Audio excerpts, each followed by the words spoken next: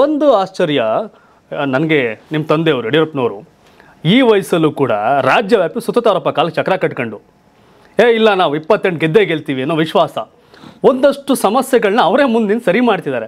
Example ಯಾರಾದ್ರೂ ಕರೆದು ಮಾತಾಡೋದಾಗಲಿ ಅವ್ರ ಮನೆಗೆ ಹೋಗಿ ಮಾತಾಡೋದಾಗಲಿ ಈ ಕೆಲಸವನ್ನು ಯಡಿಯೂರಪ್ಪನವ್ರು ಮಾಡ್ತಿದ್ದಾರೆ. ಯಡಿಯೂರಪ್ಪನವ್ರಿಗೂ ಈ ಚೈತನ್ಯ ಹೆಂಗೆ ಕಾರಣ?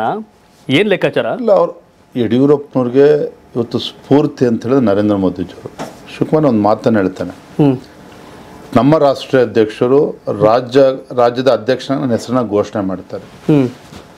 ತಂದೆಯವರು ನನಗೆ ಅವ್ರ ಮನೆಗೆ ಕರೆಸಿ ಹೇಳಿರ್ತಕ್ಕಂಥ ಮೊದಲ ಮಾತು ಮೊದಲ ಸಂದೇಶ ಅಂತ ಹೇಳಿದ್ರೆ ನೋಡು ನಮ್ಮ ಪಕ್ಷದ ಹಿರಿಯರು ಪ್ರಧಾನಮಂತ್ರಿಗಳು ಅಧ್ಯಕ್ಷರು ಪರಿವಾರ ಎಲ್ಲರೂ ಕೂಡ ನಿನ್ನ ಮೇಲೆ ಆಶೀರ್ವಾದ ಮಾಡಿದ್ದಾರೆ ಜವಾಬ್ದಾರಿಯನ್ನು ಕೊಟ್ಟಿದ್ದಾರೆ.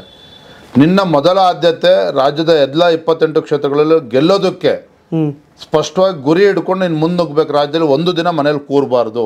ಇದು ತಂದೆಯವ್ರು ನನಗೆ ಹೇಳಿರ್ತಕ್ಕಂಥ ಒಂದು ಸ್ಪಷ್ಟ, ಕೊಟ್ಟಿರ್ತಕ್ಕಂಥ ಸ್ಪಷ್ಟ ಸಂದೇಶ. ಕಾರಣ ಏನು? ಅರೆ, ಒಬ್ಬ ಪುಣ್ಯಾತ್ಮ ನರೇಂದ್ರ ಮೋದಿಜಿ ರೀ. ಒಂದು ದಿನ ವಿಶ್ರಾಂತಿನ ತೆಗೆದುಕೊಳ್ದೇನೆ. ನೀವೆಲ್ಲರೂ ಕಲ್ಪನೆ ಮಾಡ್ಕೊಳಕ್ಕೆ ಸಾಧ್ಯ ಇದೆ. ಒಂದು ದಿನನೂ ಕೂಡ ವಿಶ್ರಾಂತಿಯನ್ನು ತೆಗೆದುಕೊಳ್ದೇನೆ ದೇಶದ ಬಗ್ಗೆ ಚಿಂತನೆ ಮಾಡ್ತಕ್ಕಂಥ ಪುಣ್ಯಾತ್ಮ ಅಥವಾ ಪ್ರಧಾನಮಂತ್ರಿ ಸ್ಥಾನದಲ್ಲಿ ಕೂತಿರ್ತಕ್ಕಂಥ ಸುಸಂದರ್ಭದಲ್ಲಿ. ನಾನು ದೇಶದ ಪ್ರಧಾನಮಂತ್ರಿ ಅಲ್ಲ, ಪ್ರಧಾನ ಸೇವಕ ಅಂತೇಳಿ ದೇಶದ ಸೇವೆನ ಮಾಡ್ತಾ ಇರ್ತಕ್ಕಂಥ ನಮ್ಮ ಪ್ರಧಾನಮಂತ್ರಿ ನರೇಂದ್ರ ಮೋದಿಜಿಯವರು.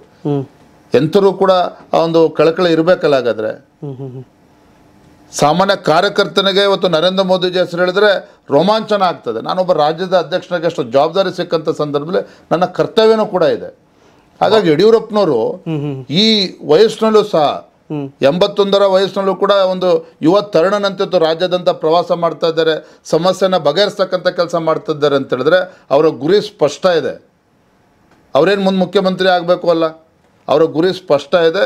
ಇವತ್ತು ನರೇಂದ್ರ ಮೋದಿಜಿಯವರ ಕೈನ ಬಲಪಡಿಸ್ಬೇಕು. ಈ ರಾಜ್ಯದಲ್ಲಿ ಏನು ಭ್ರಷ್ಟ ಕಾಂಗ್ರೆಸ್ ಸರ್ಕಾರ ಇದೆ, ತಕ್ಕ ಉತ್ತರವನ್ನು ಮುಂದಿನ ಲೋಕಸಭಾ ಚುನಾವಣೆಯಲ್ಲಿ ಕೊಡಬೇಕು.